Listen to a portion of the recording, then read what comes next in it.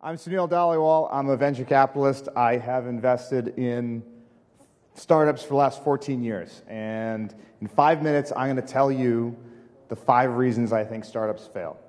Uh, so, fun fact number one is I collect t shirts, startup t shirts, and I collect them the way that Adam Jacob collects death metal t shirts. And if you want me to wear your startup t shirt, send me one. I wear a large.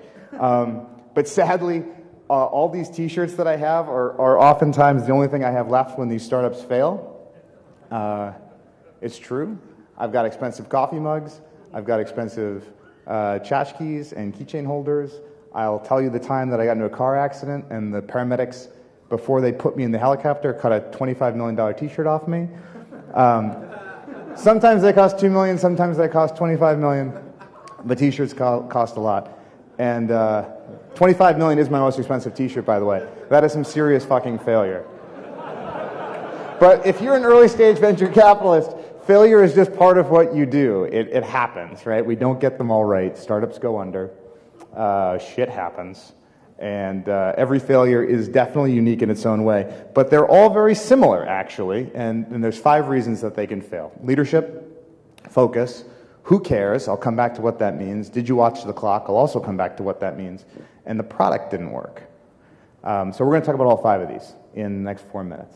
So number one's pretty key. That's leadership. This could be about you. It could be the CEO that you hire. Uh, but it starts here.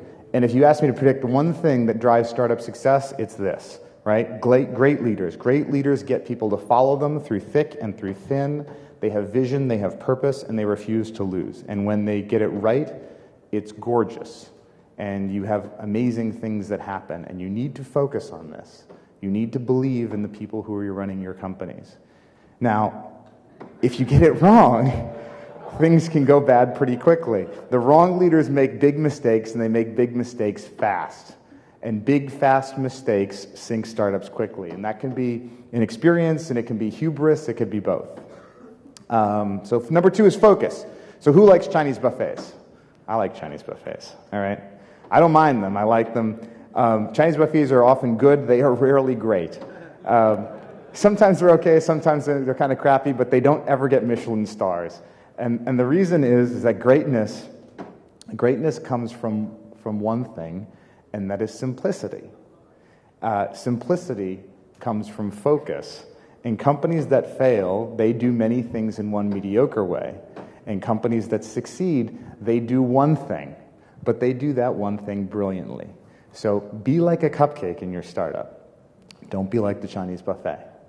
Um, the third thing we're going to talk about is who cares. Now, who knows who this guy is? I'll give you a ton of money if you know who this guy is. Anybody? His name is Luca Hänni. Luca Hänni has the number one song in Switzerland right now. Nobody gives a shit.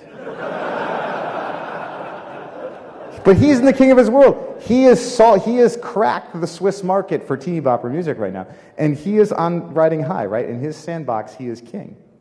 And startups is the same thing, right? People need to care. You've got to solve real problems for real people. And if you need to have enough of these people to have a real business, right?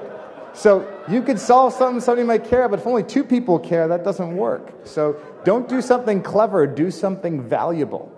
You know, that matters. Number four is watch the clock, right? Everybody says that startups and startups, time is money. Time is money. Startups is the absolute truth in startup land. And startups fail because they don't watch the clock. You know, you ask a startup CEO how much money he's got left, he doesn't give you a dollar figure. He tells you how much time he's got left. I got a month of cash left. I got three months. I got 12 months. I got a year, whatever. It's the oxygen that startups breathe it is the water that they drink. Cash is king. And great startups think about cash above all else, right? The ones that are going to win are the ones who fill up when the tank's half full. The ones who lose are circling the block looking for a gas station at 3 a.m. when the red light is on. You don't want to be that company. So, number five, number five, here's a little secret. Number five is not why software startups fail. Science risk doesn't really happen in software startups. I have yet to meet the one that says, we tried everything, but we just couldn't figure out that problem.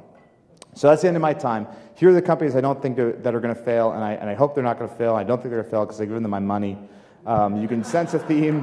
They're all DevOps and IT infrastructure heavy, and if you're thinking about starting something, come talk to me, and we'll figure out something that won't fail together.